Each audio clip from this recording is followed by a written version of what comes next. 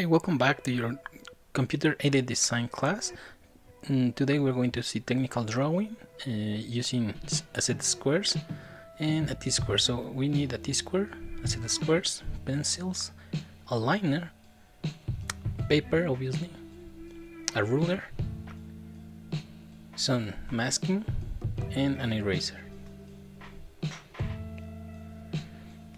So this is a common mistake that uh, some of you make do, and like pasting your paper into the uh, table or, or to the board, but this is not good because what you must do is to use your t-square and align the paper with the t-square.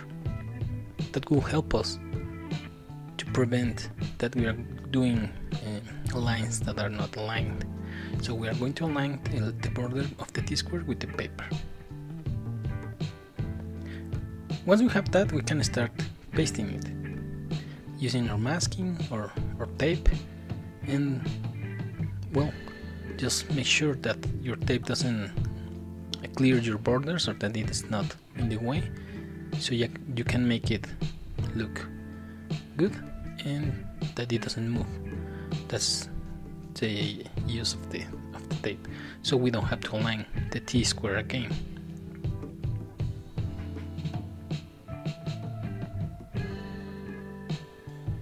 Okay, once we have that, the first thing that we have to do is to measure all of the uh, borders of the paper of the technical drawing.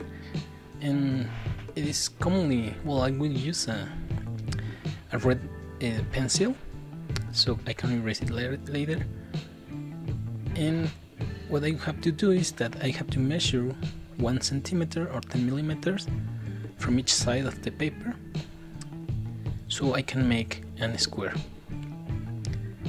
And the reason that I use a red pencil is because later on I will use a liner. And the liner will be black so I can erase it or it will not I will not get distracted by by the color. If I use a pencil instead maybe I can um, mistake my lines or or something like that. So make your borders and make sure that this doesn't happen to you, you can use your, your set of squares. Instead of, of using the, the t-square. You can leave it in an horizontal way. And after that you are going to, to put the title box. And it will be one centimeter. Also with two millimeters from the top and bottom. So you can align your letters. Here in the title box you're going to put your name as a designer. You're going to put the name of the company. For example, in this case it's my school. And the name of the drawing or the title of the drawing. Also don't don't forget to put the date and at the end we're going to put an extra element. So this is very important in order to start drawing we have to put the three axes length, height, and width, or x, y, and z. And we're going to be using our set of squares. So the t square is a line and it will be always horizontal. We are making it uh, so we can put the squares on top and we have the three lines. So notice how I use squares so my lines will be always parallel to each other. I will not have trouble like figuring out what angle should I use and the first thing that you must do is to draw a box. You can make this box or this cube and then make like um, a set of squares inside of the box so you have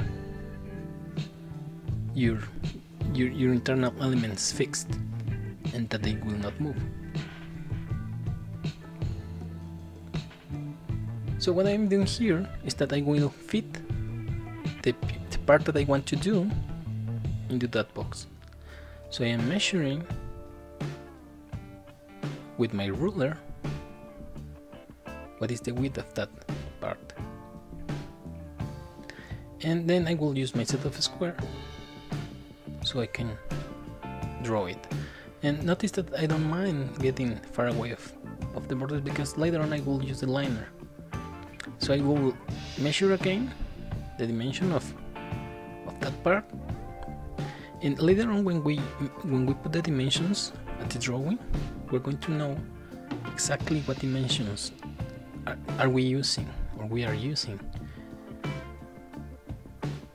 And seeing that part I like miss a spot so don't worry just fill it. And then use your liner. In this case I am using a monoliner from uh, Tombow and it's a 0.1 liner. You can use a 0.3 I think this is a 0.3 and later on I will use a 0.1 you can use a 0.3 a 0.5 and remember that the liners are used for technical drawing and that is because the line will be always the same width. So notice that our part is appearing. That's why I used the red pencil. And after that I just have to erase. We have the part finished. After that I will go and make the views of that part I will use the three standard views. And notice that I am using like the borders of the of the part to, to get the dimensions. And see that I use the highest point of, of that part so I can get the dimension correctly. Later on later on I will use the ruler to measure some some of those parts and to finish my my view. In, in this case we're like imagine where, where the parts are going to be. But if you want you can make your squares like in a notebook and just you just want to fill them with the parts. Or you can use another method like using points on all the lines that are intersecting to each other and to make those lines into your drawing and into your views to make them fit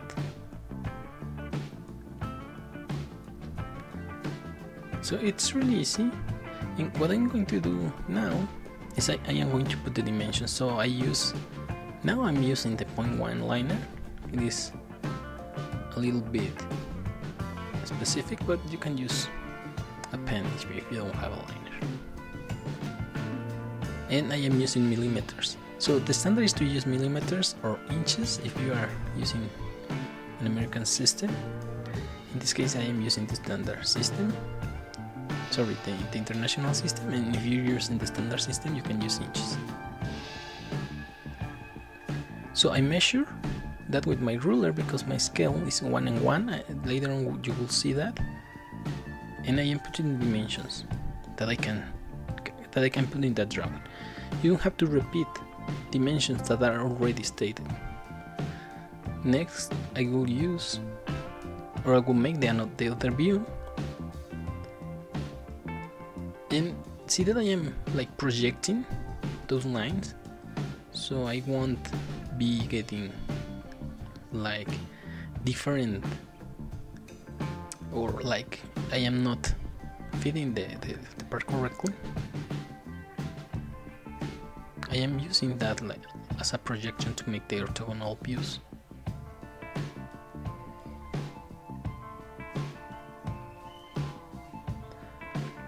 And then what you have to do is to measure again. We have some dimensions already made.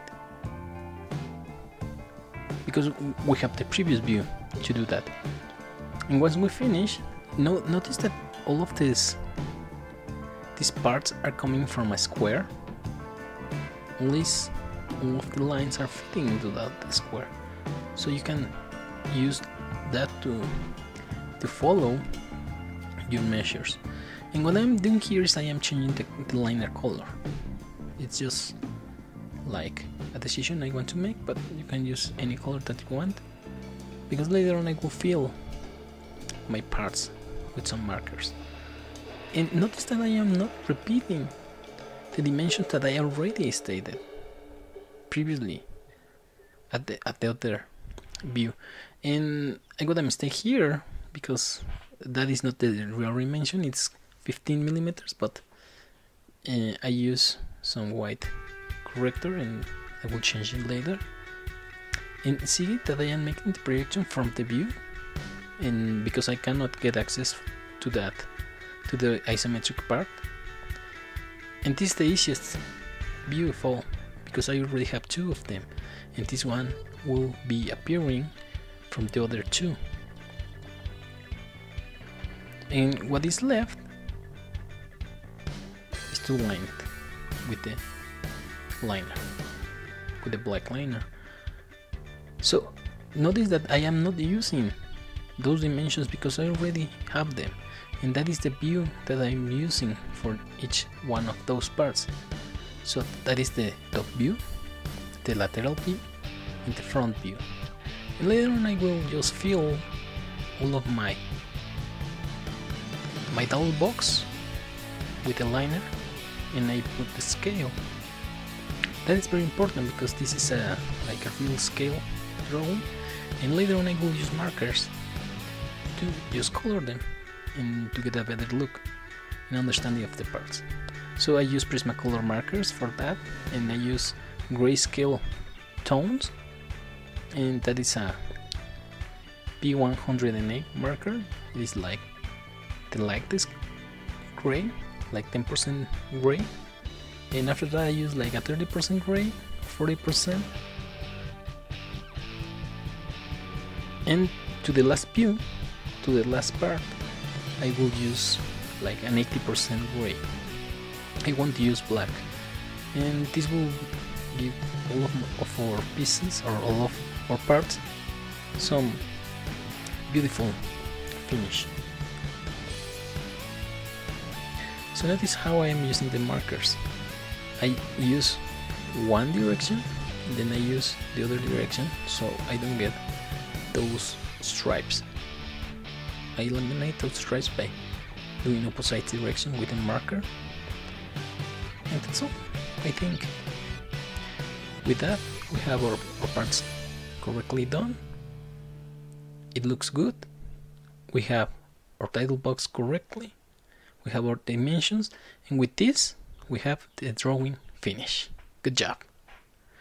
So I hope you like it and see you in another video.